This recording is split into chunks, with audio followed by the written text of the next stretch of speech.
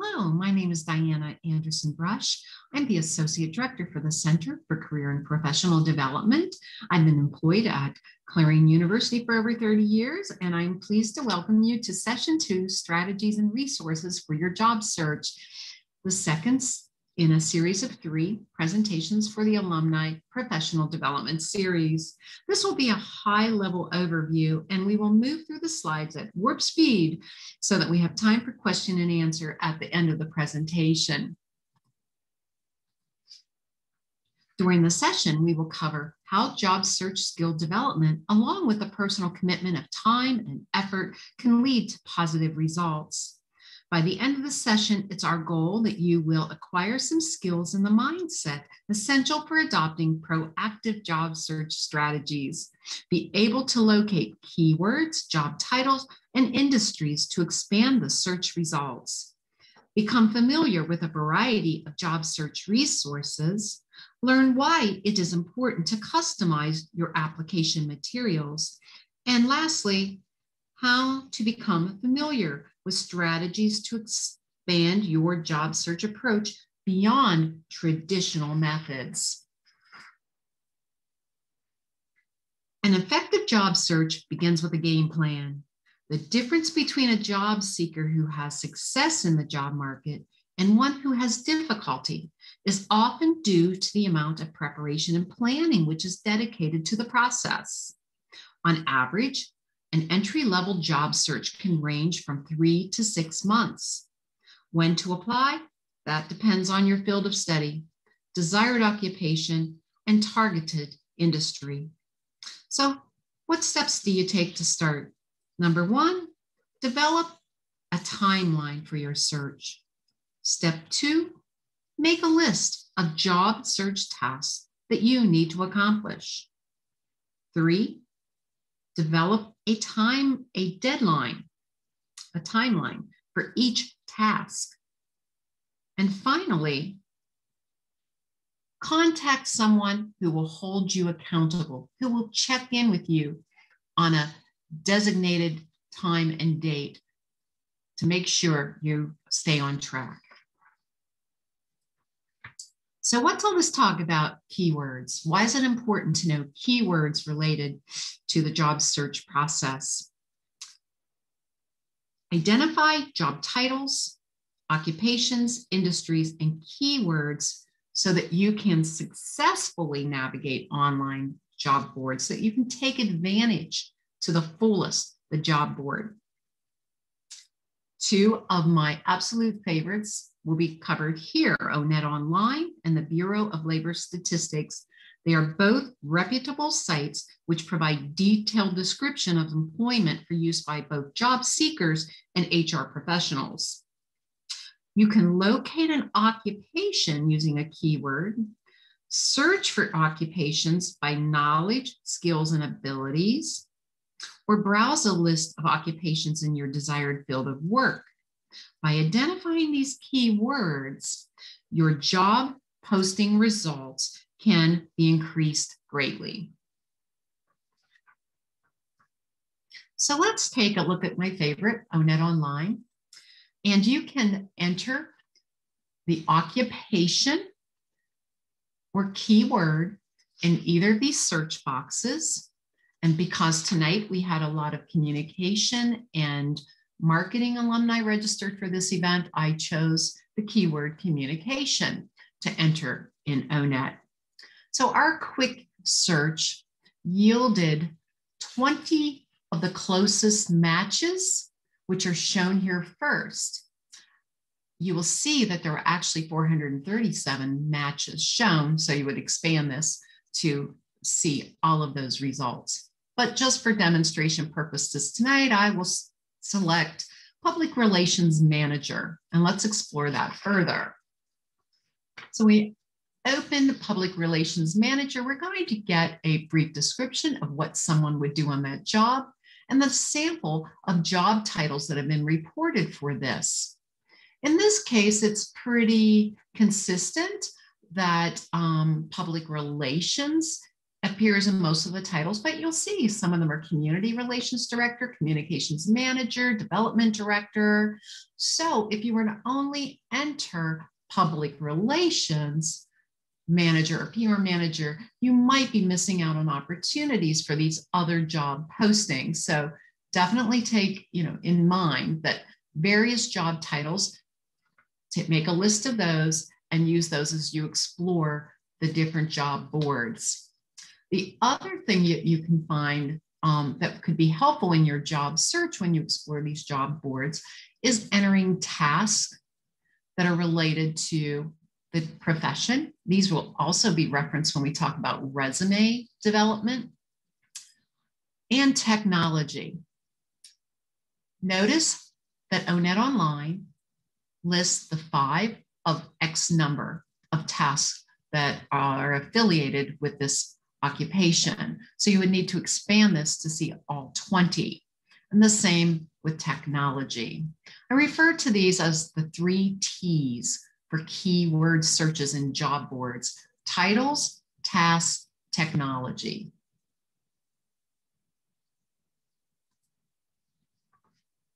What other resources are available to you?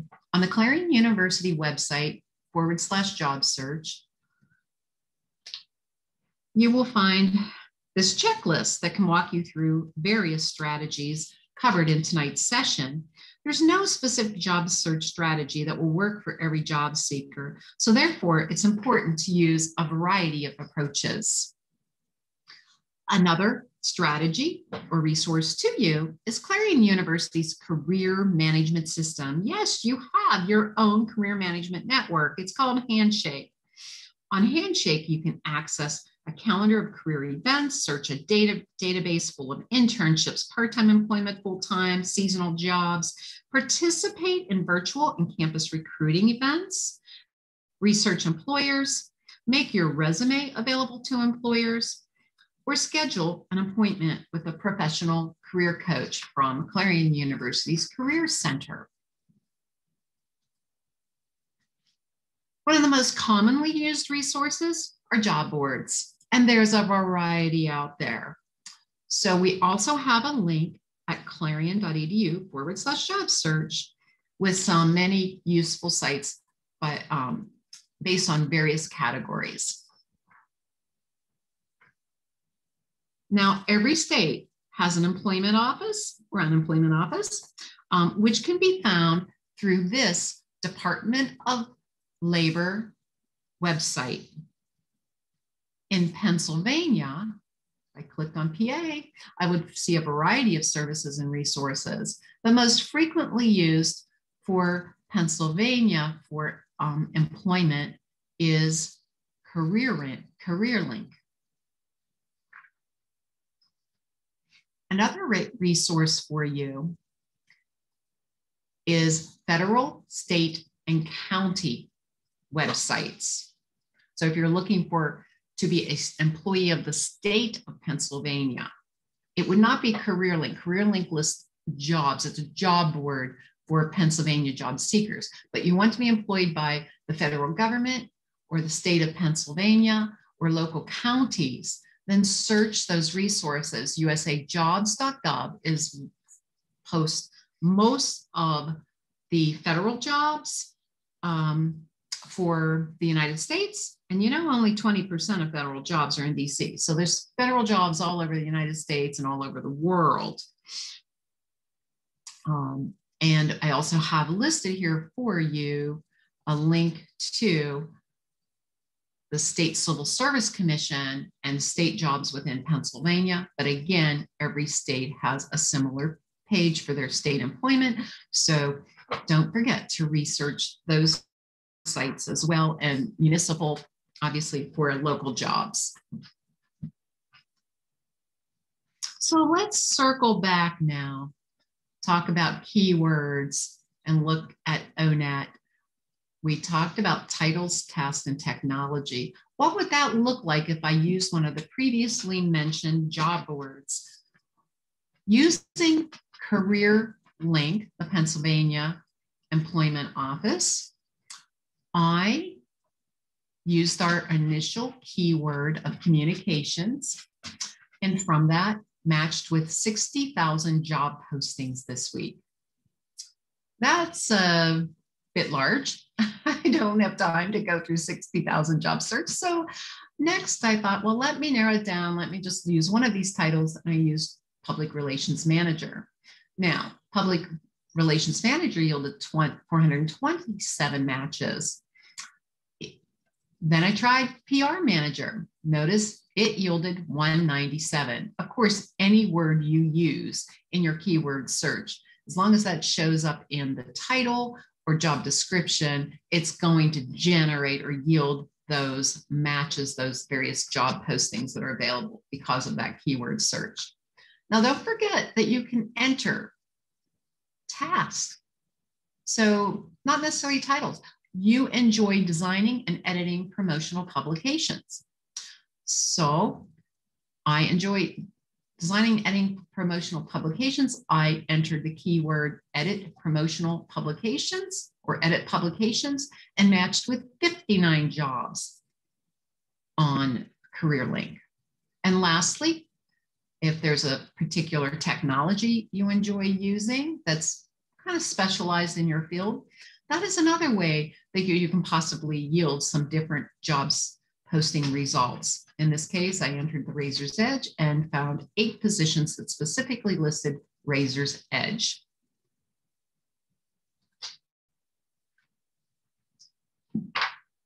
And lastly, we don't want to overlook other opportunities to leverage your personal and professional relationships. Um, they will increase opportunities. So tap that hidden job market and make connections through events and social networking. It has been reported that 80% of jobs are never advertised. So your challenge is to find out where those jobs exist. And networking is one of the best ways to find employment. Employers are eager to meet you.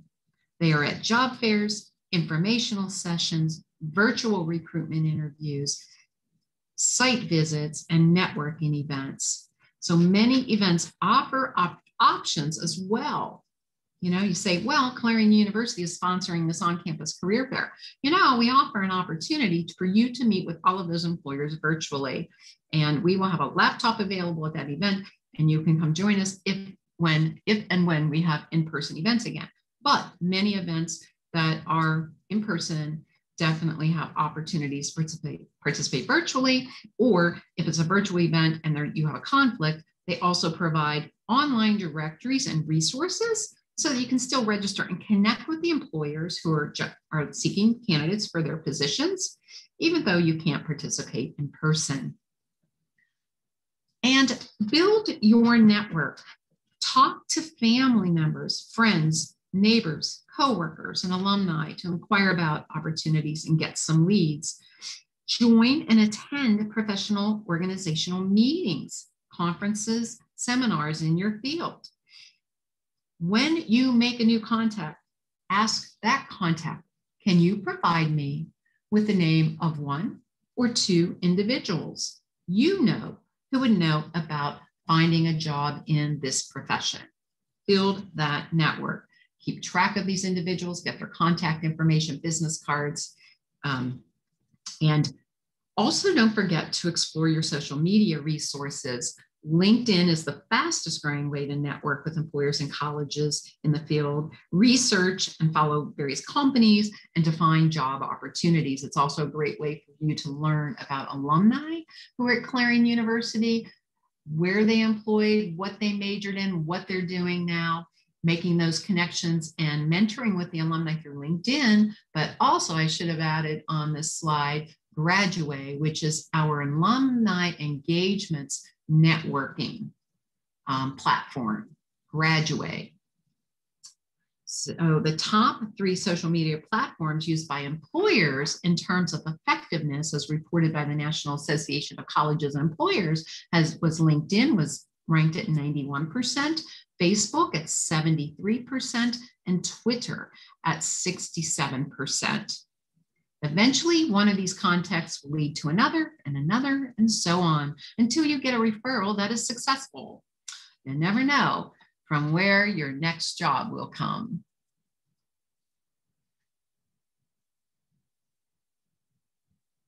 Another tip and strategy for the job search. Okay, we showed you a lot of sites, network, job boards, various um, checklists and, and platforms that will help you find the job. But it's also important then to get your foot in the door.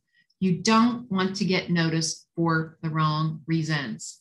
You want to get noticed for the right reasons and get your foot in that applicant pool so that you can present your credentials in person so your resume is that marketing tool that's going to provide that summary of your knowledge, your achievements, your skills, and your experiences. Any relevant internships, co-ops, externships, volunteerism, clinicals, fellowships, and work experience are all valued by employers. If you see it on the job posting, it's valued, it should be on your resume. Phase one, and I'll fly through this quickly because resume development is a another workshop in itself. But phase one, please make sure that you are not using a resume that is a format that's 15, 20 years old. Resume styles now have to be adapted to applicant tracking systems, this online screening processes. So you want to avoid templates, make sure you're creating your um, resume or curriculum vitae on a Word or a Google Doc, that you're using the proper tense, past and present, where it's appropriate for the verbs um, that it is uniform, consistent, error-free, grammatically correct, and has a proper layout with mm, uniform margins and a, a, one font throughout with proper spacing and bolding and underlining. And phase two, that we, when we look for re resumes and helping someone with their job search is helping us again circle back to ONET. You want to paint a picture of your knowledge and skills and experiences by using strong, specific, action oriented words and concise, bulleted phrases. ONET and a job posting. Those are my top two recommendations for customizing your resume with good, strong descriptive content. And third phase of resume development in this market for today is tailoring your resume to the position you're seeking, whether it's a fellowship, internship, or job posting. Yes, it's a lot of work. It's a job to get a job, but review that um, resume, pull up the, your job posting, and highlight, compare the two. Compare your resume with the job posting, highlight the content that relates to the competencies you have on your, your resume. And your goal is to demonstrate that you have the knowledge, skills, and experience to get your foot in the door for the interview. If your resume is heavily highlighted, good, you're on the right track. But if you've got these gaps, then there are other ways we can customize and build your resume to show, you know, to fill in those gaps for employment.